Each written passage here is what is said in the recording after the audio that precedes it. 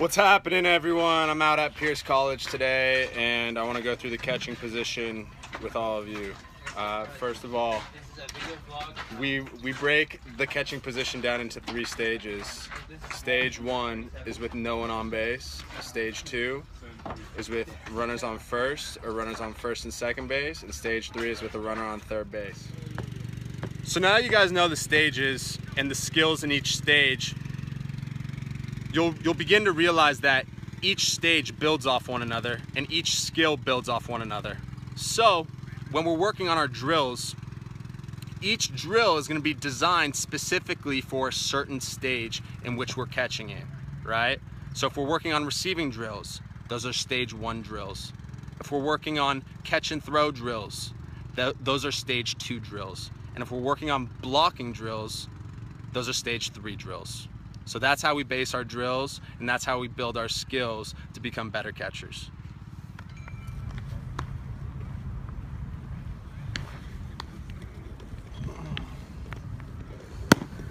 Right now we got two catchers catching bullpens and this is the best thing you can do for receiving.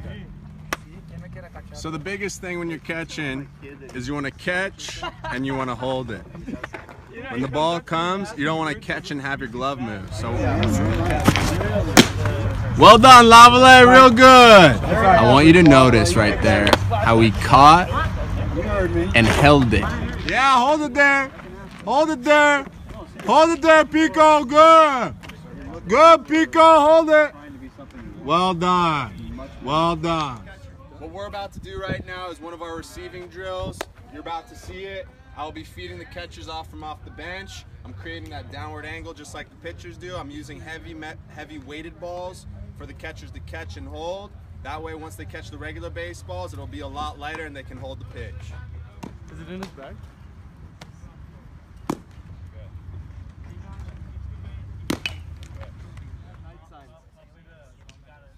not worried about that right now. After you've gone with your heavy balls, then you go with your regular baseballs. I'll talk to you guys about this later, what we're doing.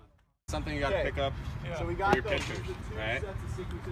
Even though I'm just doing it here, if you notice that and do it automatically, you'll be much better off. Good. Next guy. All right. This next drill is called the gain ground drill. It's for our catch and throws. We work on our transfer and we work on gaining ground. After every rep, the catcher's gonna gain ground and get his feet set to make a good throw. Here we go.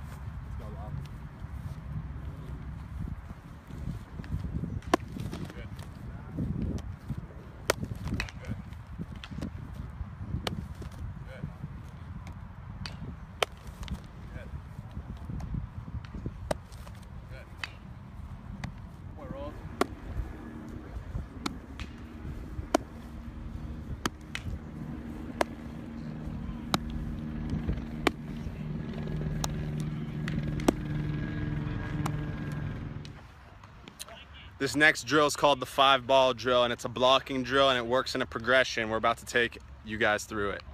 Here we go. Here's what we do. We get five balls in a line and then we begin our progression. The first one is a straight block and you're gaining ground. Go. Up, up, up, up, up. Great job. Next guy. Go ahead.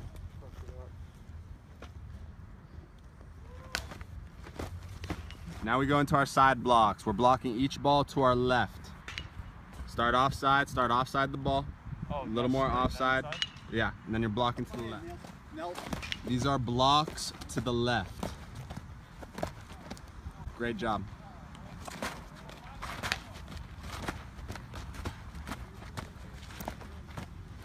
Good, once you're done with your blocks to the left, then you go blocks to the right.